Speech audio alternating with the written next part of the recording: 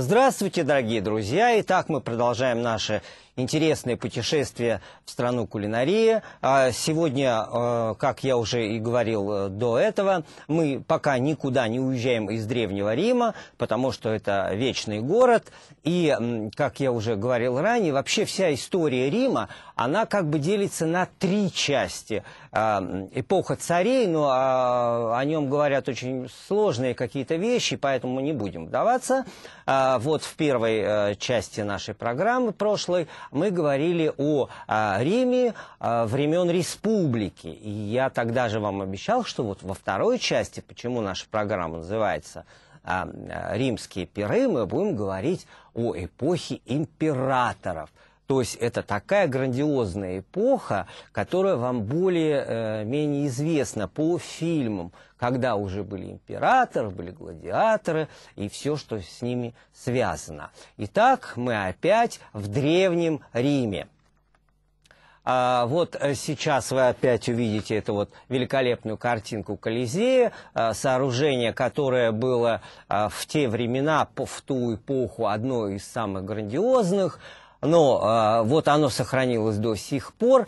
А вот э, что, что происходило в этом Колизее, обычно говорят, что там происходили глади... гладиаторские бои. Но это не совсем так. Дело в том, что, оказывается, вот совсем недавно археологи узнали, что там вот внизу под землей под самим Колизеем находились клети, где а, был как бы зоопарк такой. То есть там а, находились животные, и все жители Рима а, спускались туда и вот посещали это как зоопарк. Ну а на арене уже потом, а, в период а, вот, гладиаторских боев, в период правления а, Цезарей, а, там уже происходили вот эти страшные, ужасные а, представления, когда люди бились с животными, и люди бились между собой, вот эти гладиаторские бои. Но наша задача не о гладиаторах, а о том, как все-таки развивалось а, питание, вот от чего оно зависело. Дело в том, что когда я вам рассказывал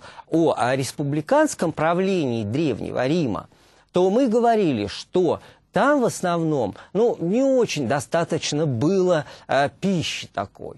Но Римская империя, то есть Римская республика, которой управлял Сенат, она начинала постепенно развиваться. И вот тогда, когда э, Сенат был э, разогнан, так будем грубо, грубо говорить, и появились императоры, то главная цель каждого императора, а, э, значит, он ставил своей целью а, покорить э, большую часть э, других территорий – и э, вроде может так э, показаться довольно странным, что э, политика и еда вроде как бы две вещи несовместимые. Но это не совсем так. Дело в том, что каждый и, и император, э, завоевывая новые земли, он э, привносил в, вот, в меню э, римлян какие-то новые продукты. И каждый старался друг перед другом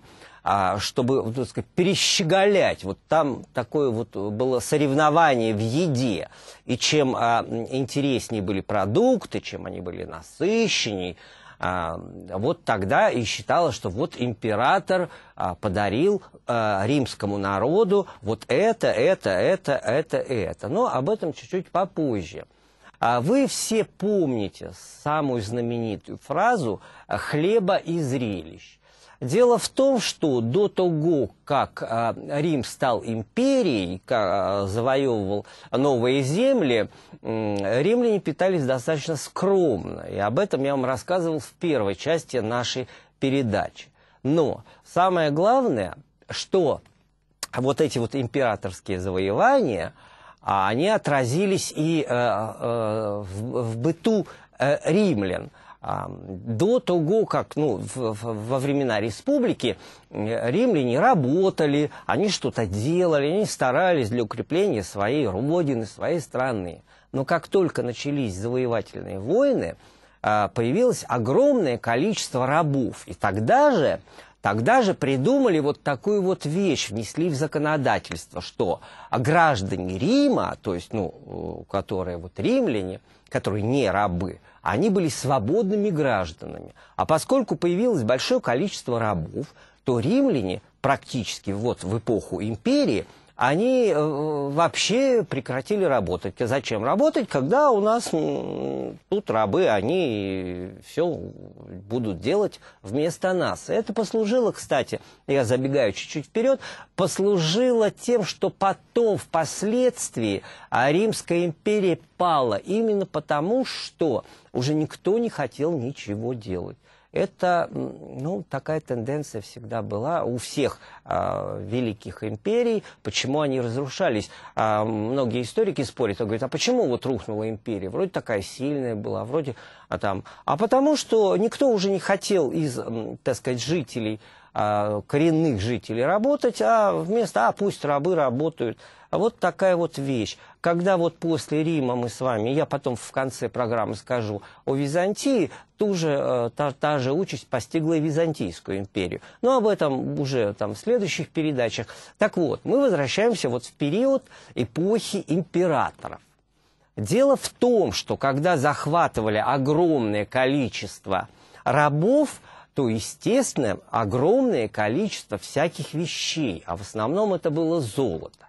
И вот если в первой передаче я вам говорил о посуде, что сначала это была медная посуда какая-то, а потом, значит, серебро. Помните, я вам в первой передаче, кто не видел, я просто напомню, что по, а, так сказать, законам а, Римской Республики а, в доме разрешалось иметь только одну серебряную солонку. Если там будет больше серебряных э, приборов каких-то, любых, то, значит, человек э, должен быть наказан то теперь, когда уже серебра было достаточно, уже даже в э, средних слоях населения Древнего Рима использовалось серебро как просто обычная столовая такая посуда. А вот уже у достаточно богатых людей, у зажиточных римлян, уже было золото золото, стекло. А, мало того, что вот э, всякие стеклянные а, изделия, там фужеры, как мы, ну, вот так будем говорить, так а, похожие на наши фужеры современные, на тонкой ножке, они еще украшались драгоценными камнями. То есть это уже считался вот, что вот человек действительно достаточно зажиточный и достаточно богатый. Но а вот если вы э, помните, вот в начале передачи я сказал «римские пиры». Так вот, мы вернемся к этим римским пирам. Дело в том, что именно Рим своими а, пирами вот этими безрассудными прославился в веках. И сейчас мы э, подойдем, откуда же пошли эти пиры, а, что они из себя представляли и что там подавалось. Ну, э, перед тем, как мы перейдем к пирам, э, хочется сказать о хлебе. Дело в том, что я вам говорил, что хлеб, он считался э, в Древнем Риме всегда ну, самым главным продуктом. Хлеб и вино. Э, так же, как и в Древней Греции. Хлеба были самые разные, из пшеничной муки, из ячменной, смешивали, получался белый хлеб, серый, черный, об этом мы говорили. Э, Еще э, хочу напомнить, что вот в прошлой передаче я говорил, что ценился очень хлеб э, с изюмом, потому что вот древние римляне очень любили изюм. Но самым считается, ну, таким очень дорогим хлебом и самым деликатесным был хлеб с инжира. Ну, вот слегка о хлебе. Далее, вот что я вам еще хочу сказать. Дело в том, что в ранней вот своей э, развитии своего государства а, римляне сами пекли хлеб. А поскольку потом начались завоевания, и, как я уже ранее сказал, были рабы, то а, а, римлянки, хозяйки, ну, так скажем, обленились. Для них это была уже тяжелая работа э, печь хлеб. Поэтому уже появились пекарни. А, а вот если говорить о, о вообще о, так сказать, о лени римской, древней римской лени, то а, а, уже дошло до того, что уже были повара, уже повара. Но это они уже появились гораздо позже. Но до поваров мы еще дойдем. А сейчас мы вернемся к пирам. Э, дело в том, что а, вот эти вот э, пиршества, а, если во времена республики а, они были достаточно скромными, и там был определенный, так сказать, распорядок, этикет, что подавать в первую очередь, что во вторую, что в третью. Э, вот в эпоху уже Цезарей э, все эти вот э, нравственные, этические, так будем говорить, нормы были нарушены. А вот э, я сейчас вам э, приведу э, один интересный э, такой рецепт. Вот э, знаменитый римский э, писатель Петроний, его знаменитое произведение «Сатирикон», которое было написано в первом веке нашей эры, рассказывает о том, что приносилось на пир. Дело в том, что там очень было много, я тоже попозже вам расскажу. Вот, вот один момент такого пира. Что приносилось? Поросенок, увенчанный колбасами. Можете себе представить птичьи потроха и тыква, сырный пирог, холодный, но политый горячим медом, обложенный фасолью, горохом, орехами и персиками. По куску, большому куску медвежатины. Последняя перемена состояла из мягкого сыра, виноградного сока, улиток по одной на каждого из пирующих. Я сейчас э, чуть-чуть отвлекусь и поясню. Дело в том, что виноградные улитки считались большим деликатесом, поэтому их не просто вот выносили на блюде на таком и бери сколько хочешь. Вот по одной на каждого. Рубленых кишок, печенки, яиц, сваренных в мешочек, репы, горлинки, тунцы – а в заключение обеда в круговую было пущено глубокое блюдо с маринованными оливками. Дело в том, что вот этот рецепт, это не рецепт Цезаря. Это обыкновенный обед, так будем говорить, даже не пир, просто обед а, э, богатого римлянина. А вот попозже я вам расскажу, что такое вот э, пиры Ц, вот когда Цезарь отмечали. То есть вы можете себе представить вот из вот этой вот маленькой э, выдержки, которую я вам прочел, что вообще происходило на этих пирах. Теперь о поварах. Дело в том, что а, в начале вот в, в, в республике а, поваров практически э, не держали. То есть если люди хотели устроить пир или пригласить к себе гостей каких-то, а они э, поваров просто заказывали. Ну, так, приглашенные такие повара. В основном это были люди, э, торговцы, которые продавали птицу и мясо. То есть они понимали в мясе, как его разделывать, как его готовить. Вот такая вот вещь была. Но, а потом а, уже в каждом доме, в богатом доме, так будем говорить, даже у римлян среднего достатка уже появились такие вот повара.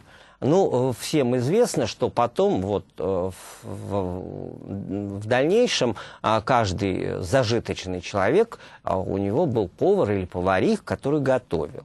Единственное, что там хозяйка или хозяин, это зависело от того, кто в доме был главный, вот. он просто следил, он заказывал, я хочу это, это, это. И повар уже шел на рынок, выбирал те вещи, продукты, которые вот нужно для приготовления определенных блюд, которые заказал хозяин.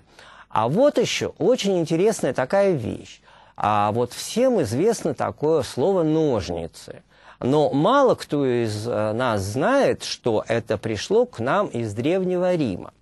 Сейчас я вам попытаюсь объяснить, а, откуда это произошло. Дело в том, что когда собирались гости, в основном в Риме подавали все это целыми какими-то ну, большими, большими, такими достаточно большими кусками. Например, заяц или кабан какой-то, или там косуля, все это приносилось. И были специальные люди, которых приглашали, за это, естественно, платили деньги, и они вот резали все это кусочками. И вот по желанию, допустим, я захотел там вот эту часть, эту часть, и вот их называли ножницами. То есть они разрезали вот э, то блюдо, которое подавалось целиком. Далее, э, до, э, так сказать, если мы будем брать начало вот э, этой эпохи, э, то римляне вообще питались два раза в день. Иногда был ну, какой-то легкий ужин, но это было по желанию. А в основном это были завтраки. Завтрак и обед. Вот что составлял собой обед? Дело в том, что а, а, первый завтрак, а, значит, что там было в первом завтраке? Это хлеб, размоченный в вине. Ну, как я уже говорил, что и в Древней Греции, и в Древнем Риме, значит, вино всегда разбавлялось водой. То есть это была лепешка хлебная, размоченная в вине, разбавленная водой. А для тех кто себе мог позволить, а вот в эту жидкость, э, вода с вином, добавляли мед, ну, чтобы было послаще. Дальше там были орехи обязательно, обязательно был изюм, молоко и яйцо. Но это в принципе, в принципе, это была еда, ну, среднего класса, если так можно выразить современным языком, среднего класса, то есть средний уровень жизни древних римлян. А вот э, бедные слои населения, их завтрак состоял в основном из, как вам покажется странно, из хлеба, вина. Но они добавляли еще всегда, вот это была такая вот обязанность, э, это каша – какая-нибудь густая каша из полбы, ячменя или из других каких-то зерновых. Она была достаточно густая, наваристая и сдабривалась, как всегда, а, а, обильно оливковым маслом. Но вот такая вот э, еда бедняков. В обед, то есть как бы вот обед, он проходил днем, вот здесь он был достаточно насыщен. То есть туда входили обязательно мясо, Хотя э, в Риме мясо, ну, как бы не очень каждый день давали мясо, потому что считалось достаточно дорого. Так вот, но рыба это было обязательно. Рыба, овощи и на десерт, как всегда, фрукты, э, э, фрукты, компоты, соки, ну и, естественно, э, вино, разбавленное водой. Но, э, кстати говоря, в ранний период, вот в ранний период, а, хотя вино постоянно присутствовало, если кто помнит наши предыдущие передачи, а, что э, мы говорили о Греции, когда о древней, то ни в Греции, ни в Риме в раннем периоде, я подчеркиваю, вот в раннем периоде а, никогда не было э, пьяниц. То есть, как бы, нация была достаточно здорова. А, и еще вот такая вот вещь. Дело в том, что когда мы говорим уже о, периоде а, Цезарей, а, вот а, все фрески, допустим, если мы а, вспоминаем республиканское вот, правление, там, то было очень много бытовых сцен различных, интересных то а, вот те фрески, которые а, археологи а, нашли уже в период империи, там все фрески, они почему-то изображали только пиры. Вот сейчас вы посмотрите. Вот в основном вот сюжеты уже не было о богах, не было о каких-то там героях. В основном все это э, выражалось в том вот возлежание, чаши, пиры. То есть вот как бы такая вот, э, будем говорить, э, пиромания не в плане поклонения огню, а вот именно от слова пир, то есть еда. Вот э, почему-то очень много вот таких вот вещей сохранилось, а вот бытовых каких-то зарисовок, сцен не было. Дальше. Вот э, я чуть-чуть вернусь назад, когда я говорил вам о, о том, что уже посуда была и золотая, и все. И вот э, у римлян э, уже римляне знали две ложки. То есть, хотя уже в Египте в древнем были ложки, в Вавилоне были ложки, но они как-то мало использовались. А вот в Риме было два типа ложек. Одна ложка э, прообраз нашей вот ложки, которую вот мы едим первая, а вторая ложка, она напоминала чайную ложечку, вот нашу, которую вот мы там чай или кофе. Но была маленькая одна у нее особенность. Вот кончик этой ложечки, он был заострен, и там был вот такой вот маленький-маленький такой вот типа иголочки такой. Почему? Что это? Это не для того, чтобы мешать там чай, кофе там, или какие-то напитки. А я вам сейчас э, объясню, почему. Потому что вот этой ложечкой, вот именно вот этой иголочкой, которая там была, а она для чего предназначалась? Для того, чтобы вскрывать э, раковины, и потом этой ложечкой вычерпывать а, то, что содержимое раковин.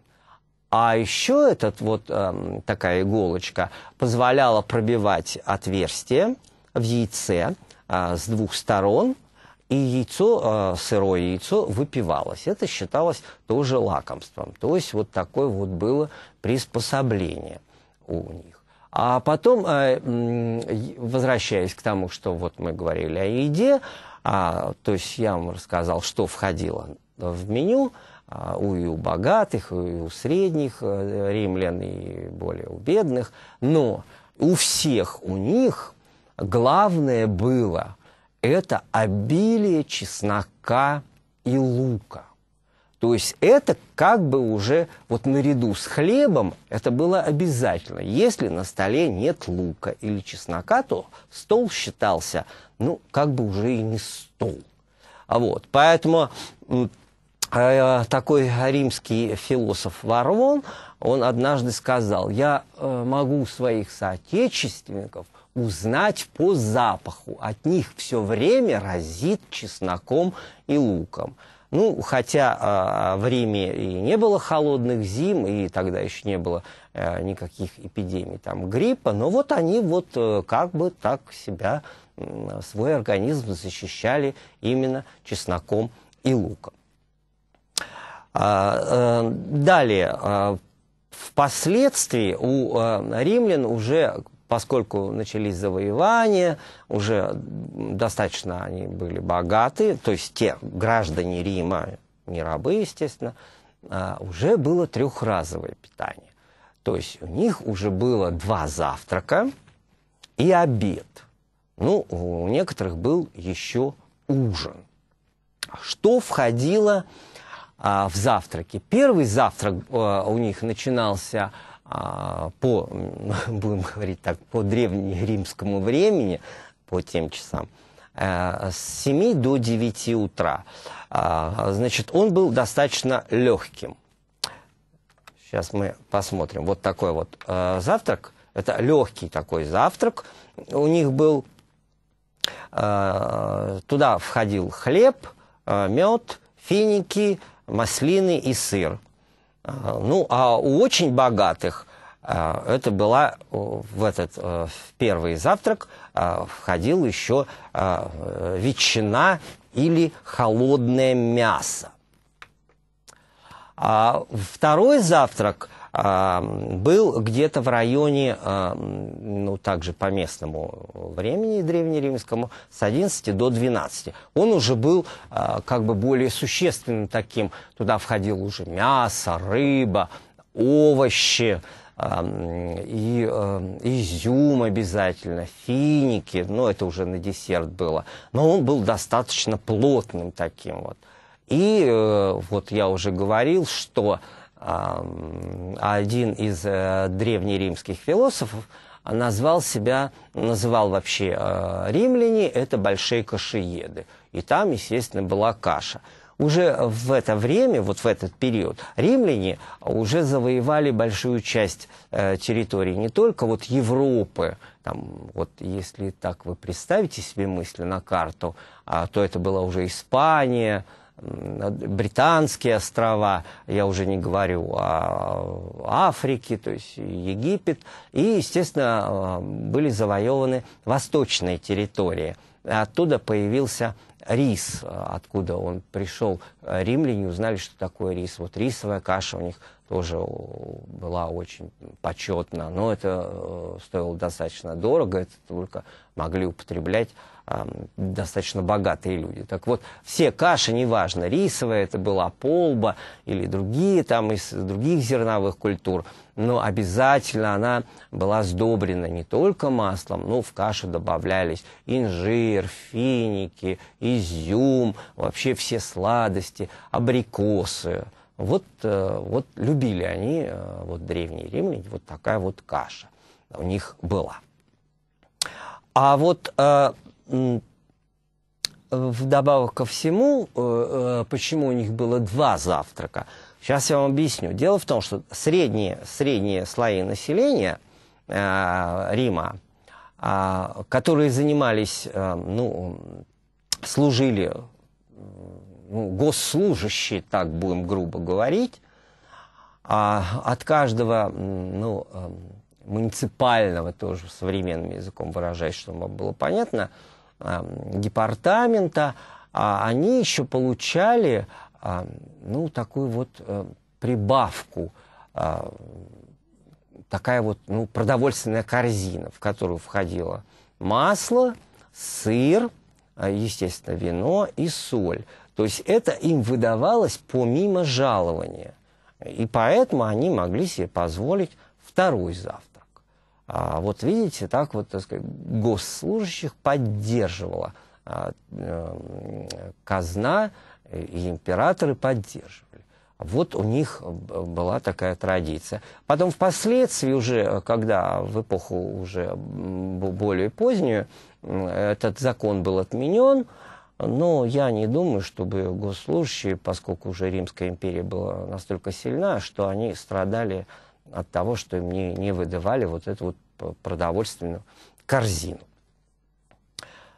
А самое главное, вот теперь мы подошли к тому, о чем я говорил. О пирах.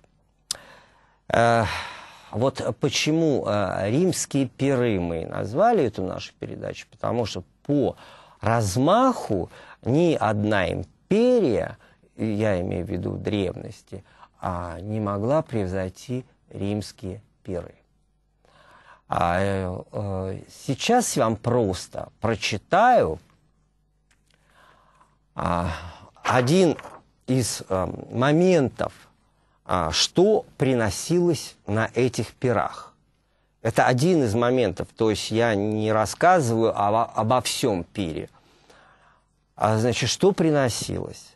Устрицы из северных морей – дрозды со спаржей, пулярки, тушеные морские моллюски, запеченные в тесте цесарки, белые и черные каштаны, кабан, поданный целиком, но состоящий из десяти частей, приготовленных по-разному – вот, понимаете, для меня это вот загадка, а, я не мог найти нигде, вот, значит, вот целый кабан, но о, его вот, вот 10 частей кабана, они приготовлены по-разному. Как это, как это делалось, а вот для меня это остается загадкой. И, по-моему, для всех кулинаров они не могут понять. Ну, кабан, значит, вот кабан, вот зажарили кабана. А как вот целого кабана? Вот, значит, вот эта часть сделана так, вот это сделано так, вот здесь такой соус, здесь такой. И все, чтобы это не смешивалось, вот, вот такая вот вещь была для меня, честно говоря, странная.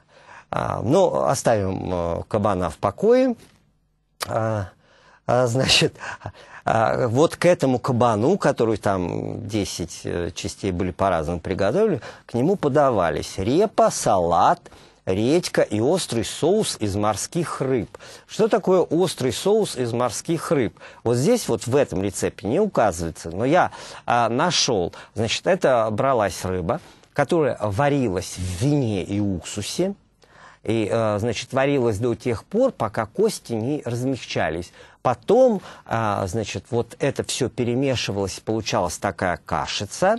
Туда добавлялись э, э, семена горчицы и всякие-всякие-всякие приправы. Вот такой был острый соус. Вот такой соус из морских рыб. Потом подавалась огромная мурена. Ну, вот кто смотрит передачи там в мире животных еще. Мурена это считается морской угорь, но на самом деле это достаточно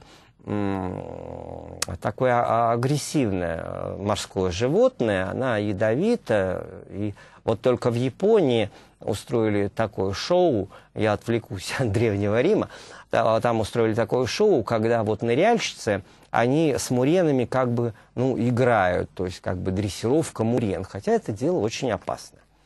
Так вот, огромная мурена с гарниром из морских раков, ну, морские раки – это омары, понятно, да? И соусом из оливкового масла, уксуса, макрели и различных овощей, приготовленных в красном вине. Далее подавалась гусиная печенка, испанские зайцы, вот видите, испанские, значит, вот такие вот итальянские зайцы там, или там английские, французские зайцы, ну, территорию, которую сейчас мы называем так, Фракия, они вот испанские, именно зайцы. Вообще, а, если честно говорить, римляне очень как-то очень странно все это вот они делили. Вот испанский заяц лучше, чем, допустим, заяц итальянский или э, греческий. Ну, это дело вкуса, видать, было виднее. А вот, вот испанские э, зайцы, утки, вот тоже утки, не просто утки, вот понимаете, просто поймали утку, и вот утку, но утки откормленные инжиром и изюмом. Ну, наверное, утка, э, которую кормили инжиром и изюмом, наверное, мясо у нее было гораздо слаще, чем если бы она питалась, допустим, каким-то зерном. Ну и, естественно, э, фрукты. Это вот такой вот маленький кусочек э, вот такого римского пира.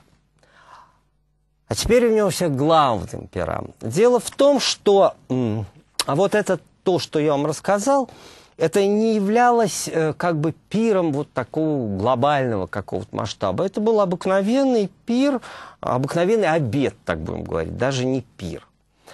А уж э, если говорить о пирах, э, дело в том, что в свое время один римский полководец Лукул устав от военных э, всяких операций, от походов военных, он вернулся в Рим.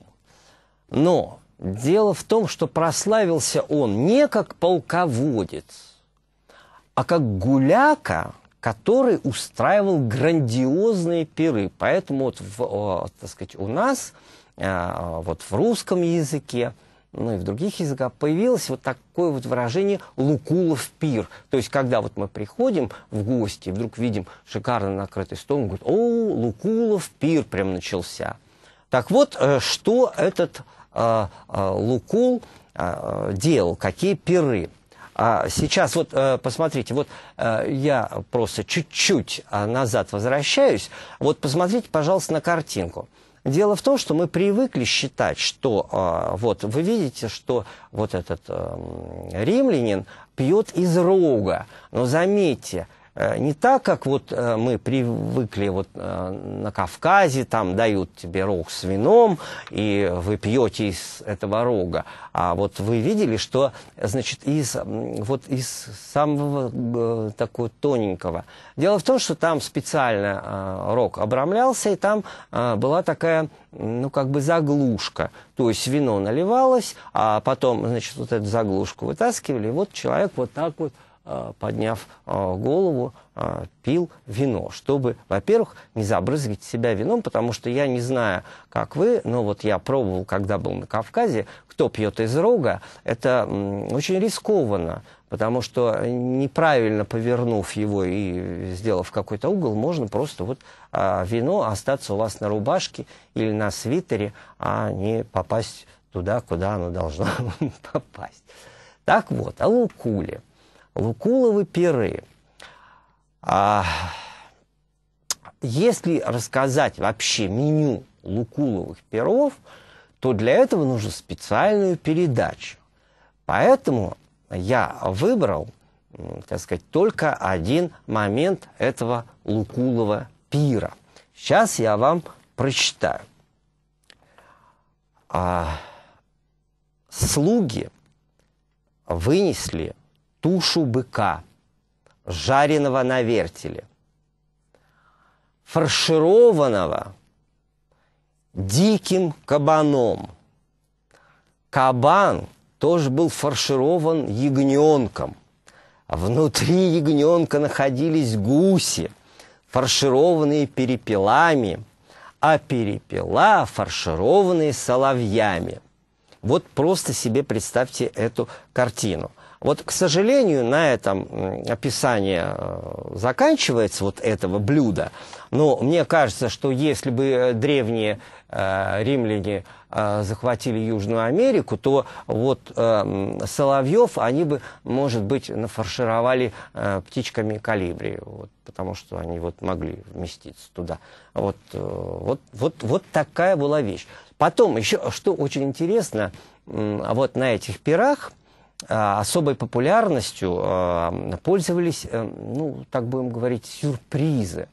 Как это делали повара, я до сих пор понять не могу. И объяснить мне, вот я пытался разговаривать с теми людьми, которые профессиональные, э, так сказать, повара, они мне говорят, Володя, ты знаешь, такое невозможно. Но не знаю, возможно это невозможно в, в современных условиях, но в Риме это было возможно, и тому есть э, подтверждение. Дело в том, что э, когда вот трапеза э, в разгаре была, то есть э, все было, э, считалось особым шиком, когда приносили, допустим, тушу кабана или косули, ну, какого-то крупного животного, и когда его, вот те люди, которых называются ножницами, ну, разрезали, Оттуда вылетали черные дрозды, живые. И это приводило публику в неописуемый восторг. Вот, вот как это делалось до сих пор для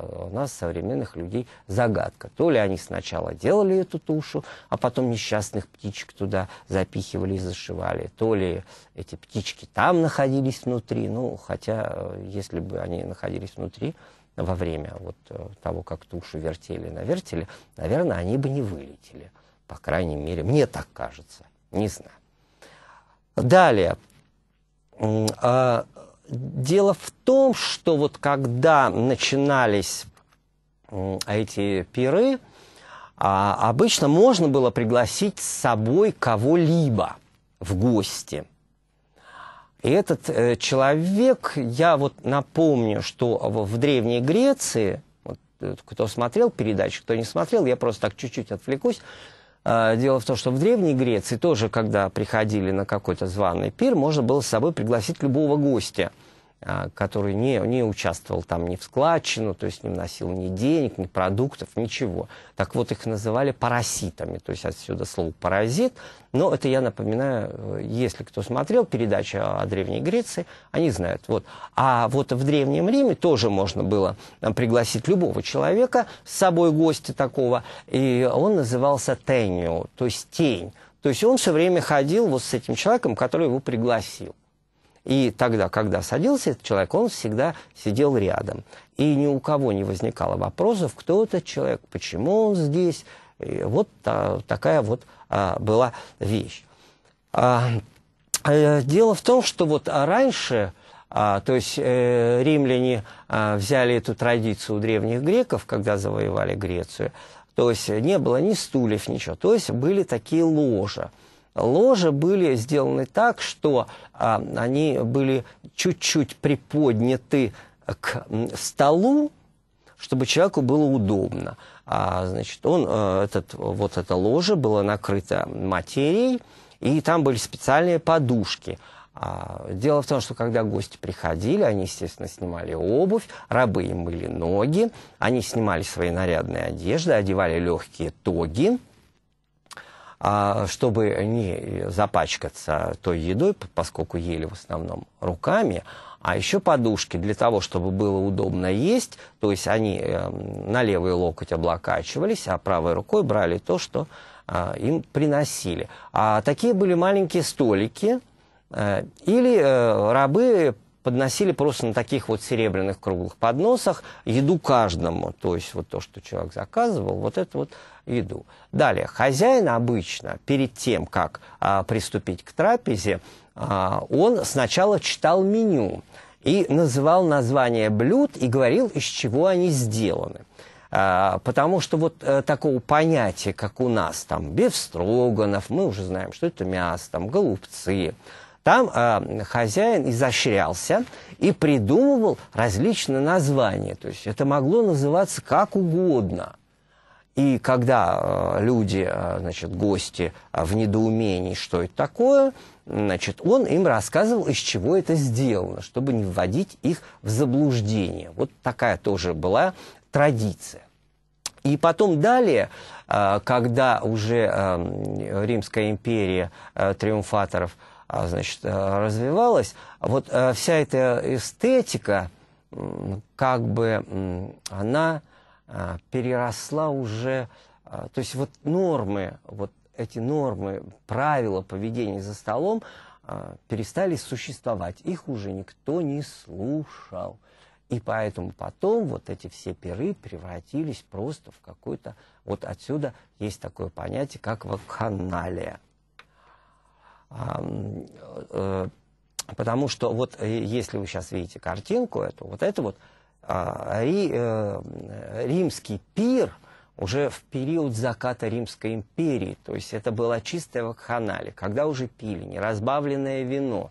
И не было а, того, что было во времена республики, а, когда во время пира велись дискуссии, споры. А, многие даже перед тем, как попасть в гости, ходили специально в библиотеку, изучали какие-то материалы, чтобы блеснуть своим умом. Ну, здесь вот как то, что вы видели на предыдущей картинке, уже никто блистать ничем не мог, кроме того, что то, что вы видели. Комментировать я пока это не собираюсь. Вот. И, э, как многие ученые считают, именно вот этот вот разгул – он и повлек за собой то, что вот э, Римская империя, ну, как бы стала, перестала существовать. О том, что дальше было с Римской империей, мы поговорим в следующей нашей программе.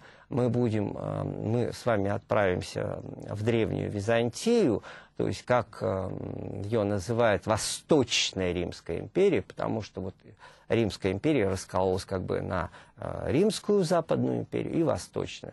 Что происходило в Древней Византии, об этом я вам попытаюсь рассказать, потому что Византия тоже очень интересна, потому что она э, как бы располагалась, сама империя, на двух континентах, даже на трех. Это Северная Африка, Европа и Азия. И вот, вот это вот смешение вот этих а, трех культур, а, конечно, повлекло за собой а, разные вещи, естественно, отразилось на пристрастиях, кулинарных пристрастиях.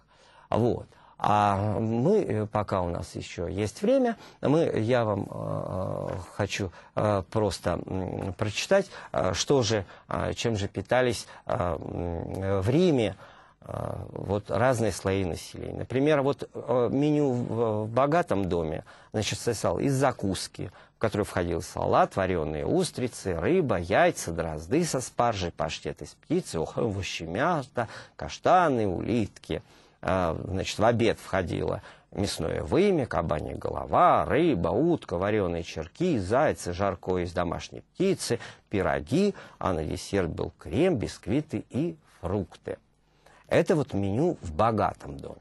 А вот средний римлянин, а значит, что у него входило в ежедневное меню, подчеркиваю, а, значит, э, закуска состояла салат, лук, соленая рыба, яйца. А вот обед состоял из каши, естественно, э, с колбасами, и бобы, цыпленок, ветчина. А десерт, естественно, яблоки, изюм, груши, каштан. А вот бедняки э, питались достаточно скромно. Они ели бобы, репу, чечевицу, горох, лук, чеснок, как я уже говорил, потому что это все ели. Я вот специально не перечислял здесь. Э, баранину, свинину, но это было очень редко. Э, всегда был ячменный хлеб, не пшеничный, а ячменный, то есть это серый, не очень хорошего качества, и кислое вино. А вот горячую пищу бедняки ели один раз в день после работы. До работы, как бы считалось, нельзя есть кашу или горячую пищу. Это расслабляет человека, и он не может полноценно трудиться. Вот, в принципе, вот за эти две передачи о Древнем Риме а, я вам попытался а, рассказать о традициях, о меню, как а, жили древние римляне, чем они питались, какие у них были устои. Вот э, я попытался вам открыть. Хотя э, история Древнего Рима настолько богата, что вот в течение двух передач рассказать об этом невозможно. И, как я уже сказал вам, в следующий раз мы с вами отправимся в Древнюю Византию и узнаем, как жили древние византийцы или, грубо говоря, Восточная Римская империя.